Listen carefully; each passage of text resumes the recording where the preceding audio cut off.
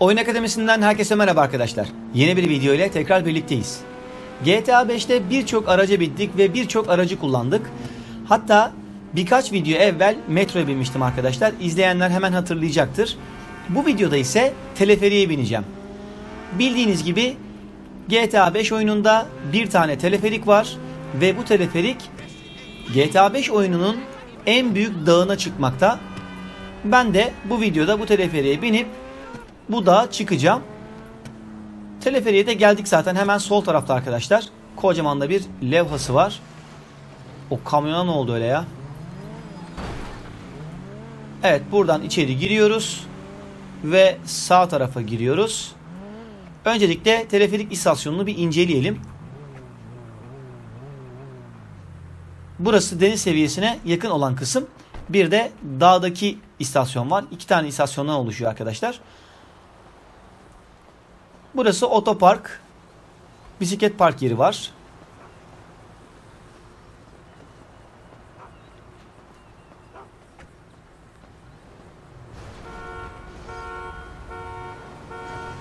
Şuradan merdivenlerden yukarı çıkalım. Burada da kafe tarzı bir yer var. Kafe bar gibi sanıyorum ki. Masalar, sandalyeler. Ama içine girilmiyor. Şöyle bir etrafını dolaşalım. Telefon kulübeleri var burada. Masa ve sandalyeler devam ediyor. Gördüğünüz gibi. Buradan merdivenden istasyonun içine gidiyorsunuz. Arkada da bir tane merdiven vardı. Oradan da gidebilirsiniz. İlla buraya gelmeniz gerekmiyor. Sanırım dışarıda gösterecek fazla bir şey yok arkadaşlar. Şöyle bir de yüksekten bakalım. Evet ağaçlık bir alanın içinde zaten bu şekilde. Dağda karşıda. Teleferik de geliyor gördüğünüz gibi. istasyona girecek şimdi. Biz de buna binip bununla yolculuk yapacağız. Şöyle tekrar incelemeye devam edelim biz. Evet istasyona girmiş durumda arkadaşlar. Gördüğünüz gibi. Buradaki merdivenden de diğer tarafa iniş yapabiliyorsunuz. Gördüğünüz gibi çok da fazla bir şey yok. Evet şimdi buradaki teleferiye binelim gitmeden. Kapısı açık zaten. İçeri doğru giriyoruz. Ve girdikten sonra E tuşuna basın diye bir tane ibare çıkıyor. E tuşuna basıyorum. Artık teleferikle yolculuk yapmaya başlıyorum arkadaşlar.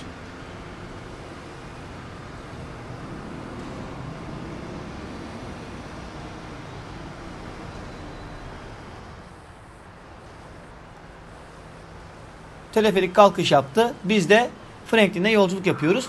Bu şekilde dışarıdan gösteriyor bizi giderken. Kamera açısını V tuşuna basarak değiştirebiliyoruz. Mesela şu an Franklin'in gözünden görüyoruz arkadaşlar. Franklin kendi gözüyle istediği yere bakabiliyor. Tabii ki belli bir açı doğrultusunda en soldan en sağa görebiliyorum. Arka tarafı göremiyorum arkadaşlar. Buna müsaade etmiyor şu an.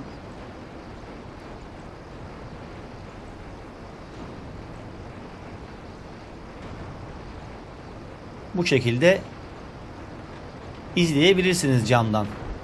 Tekrar basalım V tuşuna. Evet.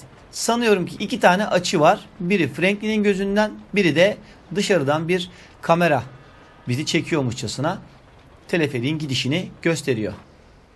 Evet şimdi farklı bir açıdan. Bu açılar otomatik geliyor. Ben yapmıyorum. Kendi kendine belirli aralıklarla değişiyor arkadaşlar.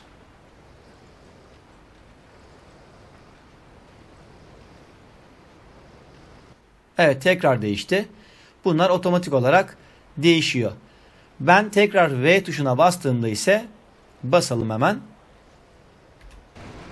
Franklin'in gözünden görmeye devam ediyorum. Ki istasyona da geldik sanıyorum ki. Şurada görünen istasyon. Bir de aşağıyı görsek güzel olacak ama göremiyoruz.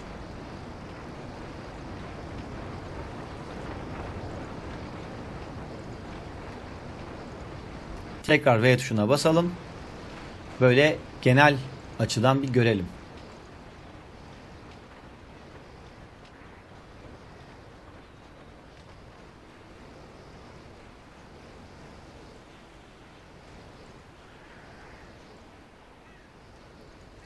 Evet arkadaşlar teleferik istasyona giriyor şu an.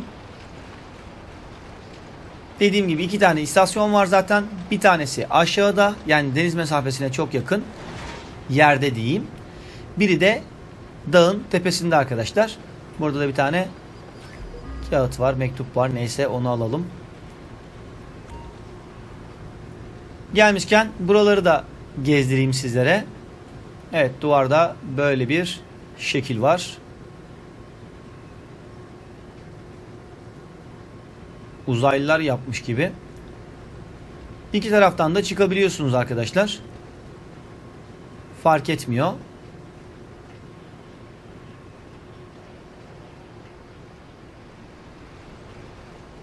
Diğer taraftan çıksaydık o zaman da buradan çıkmış olacaktık. Ee, buradan yukarı doğru bir zıplayalım bakalım süper zıplamayla. Evet biraz takıldık. Şuradan gidelim.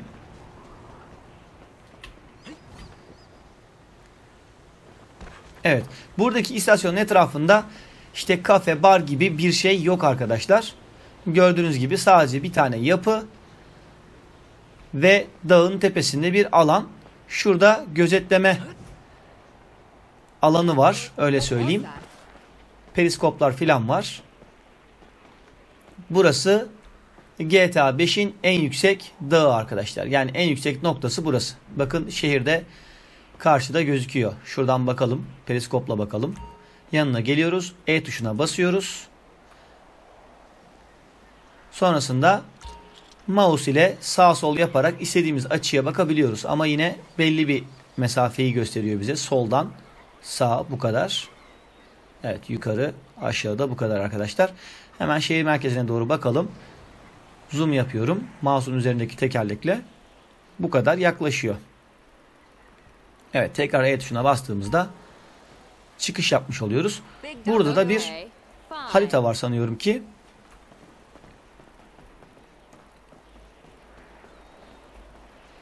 Evet arkadaşlar.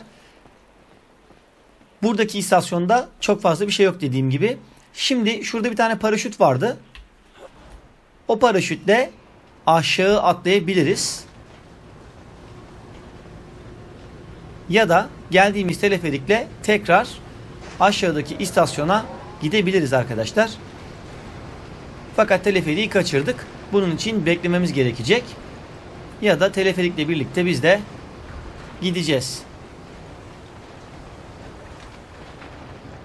Şuradan atlıyorum ve paraşütü açıyorum arkadaşlar.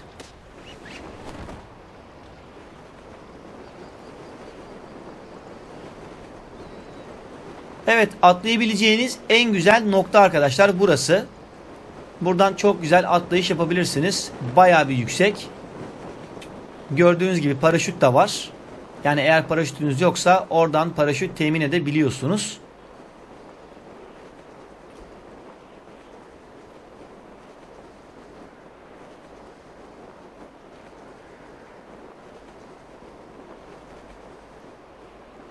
Paraşütün nasıl kullanıldığını bilmiyorsanız eğer bununla ilgili video yapmıştım. Videolarım arasında bulup izleyebilirsiniz arkadaşlar. Eğer bulması zorsa arama motoruna Oyun Akademisi paraşüt nasıl kullanılır diye yazarsanız hemen çıkacaktır. Sanırım şurasıydı arkadaşlar. Teleferiğin aşağıdaki istasyonu. Oraya doğru iniş yapalım.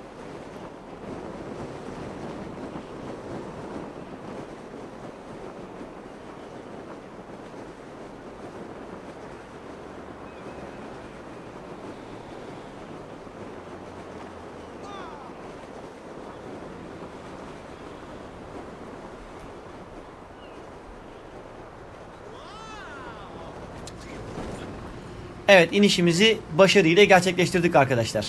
Gördüğünüz gibi istasyonun bir tanesi dağın tepesinde. Bir tanesi de şu an benim bulunduğum yerde arkadaşlar. Evet arkadaşlar GTA 5 oyunundaki teleferik istasyonlarını inceledik ve teleferikle yolculuk yaptık. Umarım videomu beğenmişsinizdir. Yeni bir videoda görüşmek dileğiyle. Hoşçakalın.